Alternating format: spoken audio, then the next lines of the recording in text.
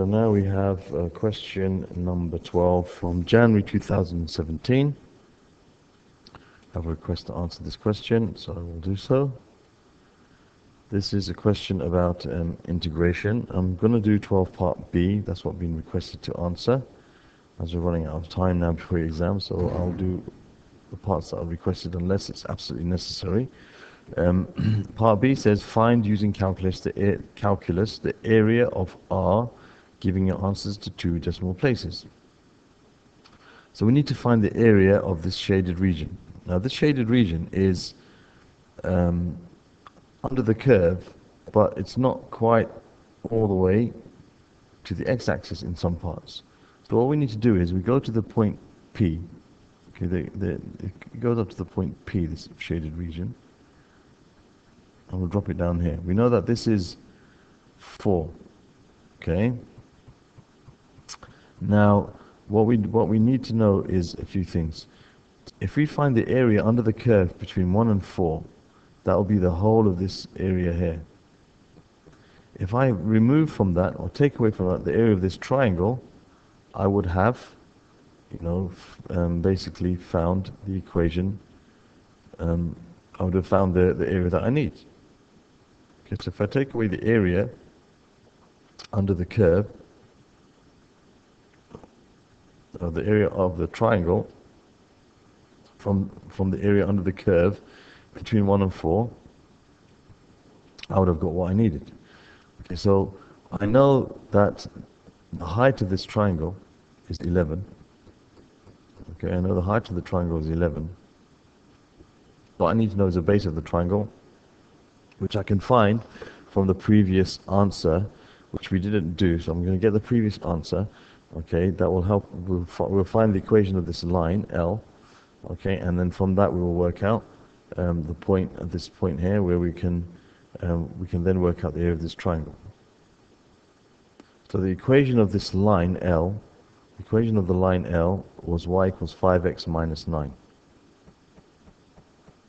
Okay, that was from part A of the question, which we didn't actually do here. All right, that is um, the previous part of the question. So we need to find the point where the line cuts the x-axis. That's the point when y equals 0. When y equals 0, you got 5x minus 9 equals 0. So 5x equals 9. So x is equal to 9 divided by 5. So x is equal to 1 and 4 fifths, which is 1.8. So I know that this point is 1.8. So I know that the base of the triangle is 4 minus 1.8. Okay, which is going to give you um, 2.2. 2.2 plus 1.8 will give you 4.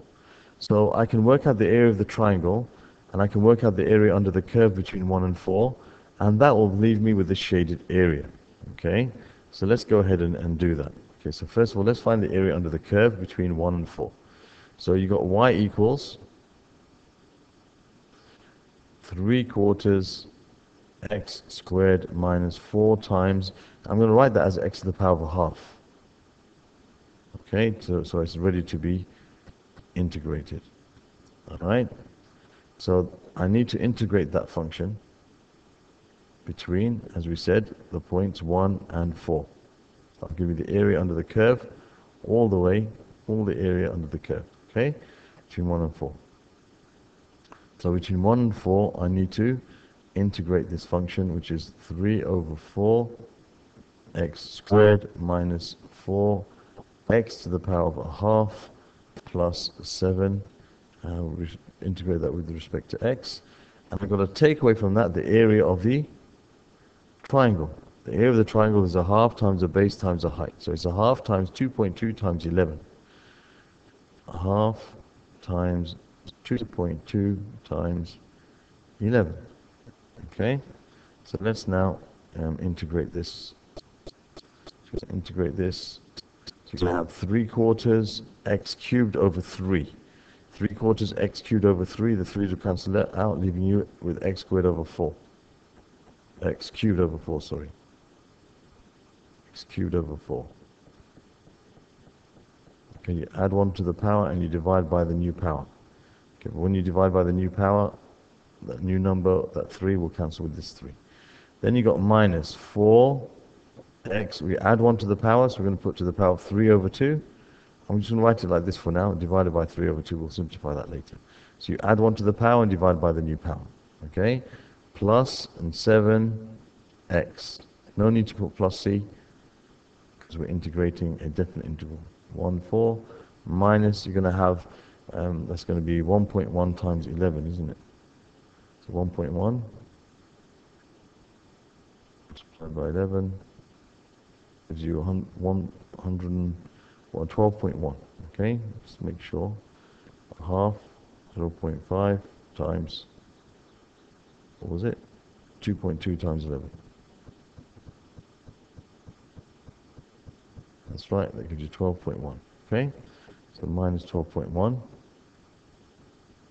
And we've got to take that away. So let's continue now. Let's simplify this expression first. So this is like 4 times 3 over 4 divided by 3 over 2. So this is like 4 divided by 3 over 2, which is 4 times 2 over 3. Okay, which is 8 over 3. So you got x cubed over 4 minus 8 over 3 x the power of 3 over 2 plus 7x minus 12.1. This is between the limits 1 and 4 for this. So you're going to have to put 1, 4 in there first. You're going to have 4 cubed, which is 64 over 4, which is 16. Minus. If you put 4 into here, you've got 4 to the power of 3 over 2, which is the cube root of 4 squared. So, sorry, the square root of 4 cubed, isn't it? The power is the, is, is, is the numerator and the root is the denominator. So the square root of 4 is 2, 2 cubes is 8. That's going to give you 8 over 3 times 8. 8, 8 is 64, so it'll be 64 over 3. Okay, so that's 64 over 3. Plus 7 times 4, which is 28. Minus, and now you're going to put 1 into there. So you have 1 quarter minus 8 over 3. Whatever you do to 1, square it, cube it. Alright, find the square root of it. It'll always be 1. Okay, minus 8 over 3 plus 7. Okay, that's the area under the curve. And then you've got to take away the area of the triangle, which is 12.1.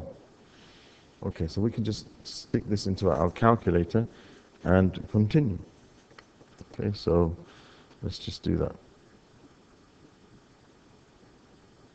Here we have 16 plus 28.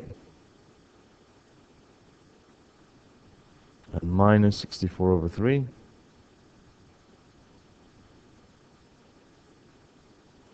Okay, that's 68 over 3. Minus, then we're going to have um, a quarter. Put this in a bracket. A quarter minus 8 over 3. Oops. Minus 8 over 3. And plus 7. Close bracket. Okay. That will be the area under the whole curve. And we've got to take away from that 12.1. Take away 12.1 which gives us an answer which is 359 over 60 okay. That's 359 over 60 and the question I think told us to give an answer to two decimal places. Yes it did. Okay. So we just press the SD button. It gives you 5.983 so you write 5.98 as your final answer. 5.98 units squared. Okay, that's the area under the curve. Take away the area of the triangle. Give us the shaded region R. I hope that was clear. Okay, and if you want me to do part A, let me know and I will do part A as well.